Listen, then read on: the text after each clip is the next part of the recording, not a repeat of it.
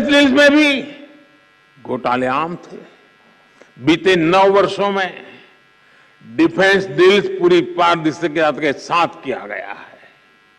अब तो हम भारत में ही अपनी ज़रूरत का रक्षा सामान बनाने पर बल दे रहे हैं। साथियों, भ्रष्टाचार के विरुद्ध लड़ाई को लेकर ऐसे अनेक कदम आप भी बता सकते हैं, मैं भी गिना सकता हूँ। लेकिन अतीत के हर अध्याय से हमें कुछ न कुछ सीखने की ज़रूरत है। दुर्भाग्य से, भ्रष्टाचार से जुड़े मामले वर्षों तक खींचते चले जाते हैं। ऐसे मामले भी आए हैं, जिसमें एफआईआर होने के 10 साल बाद भी सजा की धाराओं पर चर्चा चलती रहती है। आज भी जिन मामलों पर एक्शन हो रहे हैं, वो कई कई साल पुराने हैं।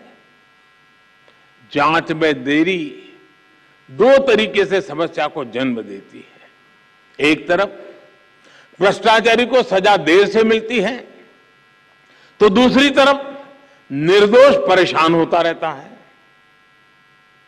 हमें सुनिश्चित करना होगा कि कैसे हम इस प्रोसेस को तेज बनाएँ और भ्रष्टाचार में दोषी को सजा मिलने का रास्ता साफ़ हो पाए। हमें बेस्ट इंटरनेशनल प्रैक्टिसेस को स्टडी करना होगा। जाँच अधिकारियों की कैपेसिटी बिल्डिंग पर फोकस करना होगा। और साथियों, आपके बीच मैं एक बात फिर स्पष्ट करना चाहता हूँ।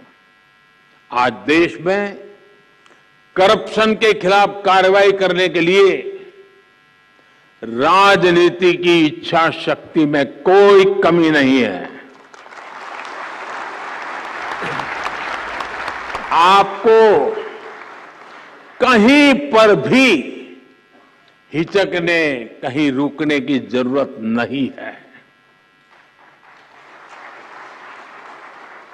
मैं जानता हूँ जिनके खिलाफ एक्शन ले रहे हैं, वो बहुत ताकतवर लोग हैं।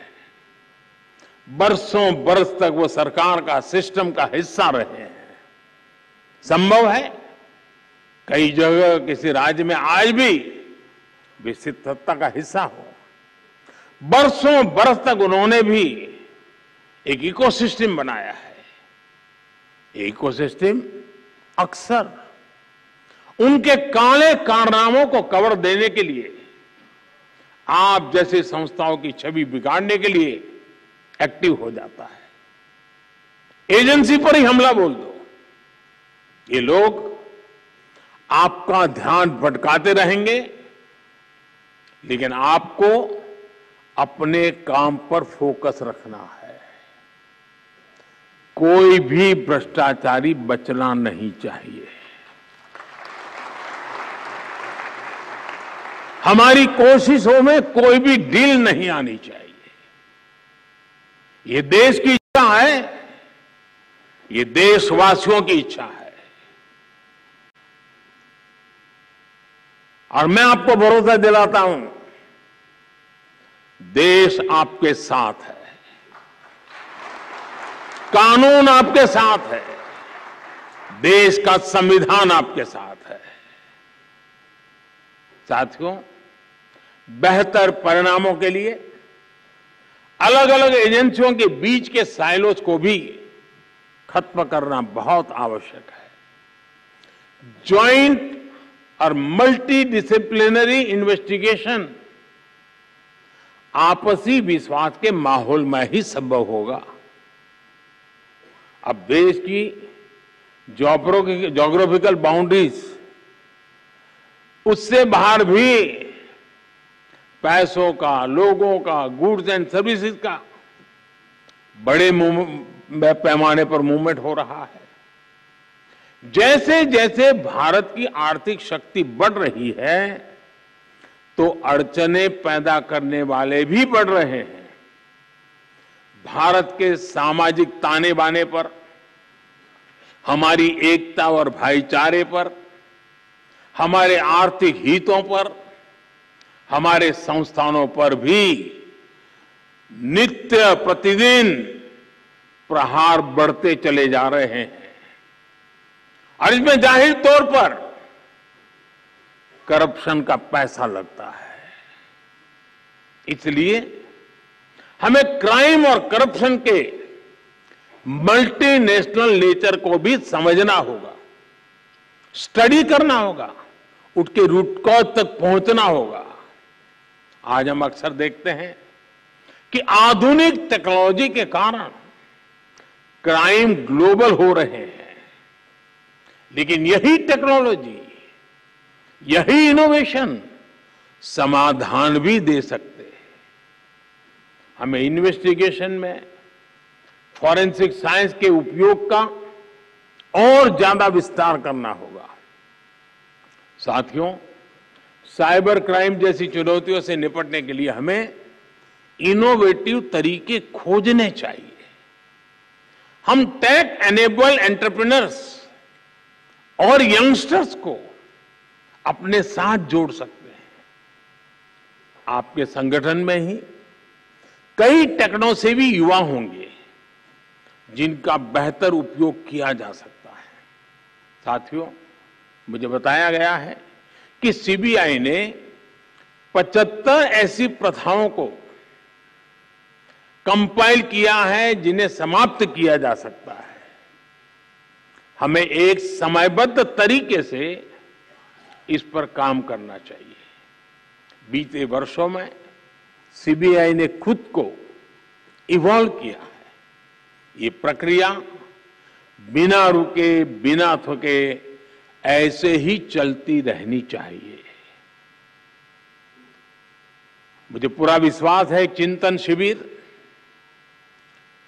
एक नए आत्मविश्वास को जन्म देगी। ये चिंतन शिविर नए आयामों तक पहुँचने के रास्ते बनाएगी। ये चिंतन शिविर गंभीर से गंभीर कठिन से कठिन समस्याओं को सुलझाने के तौर तरीके में आधुनिकता ले आएगी।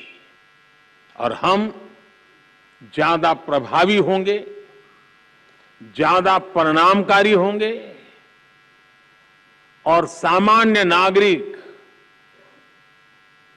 न बुरा करना चाहता है, न बुरा उसको पसंद है। हम उसके भरोसे आगे बढ़ना चाहते हैं, जिसके दिल में सच्चाई ज़िंदा है। और वो संख्या कोटि कोटि जनों की है कोटि कोटि जनों की है।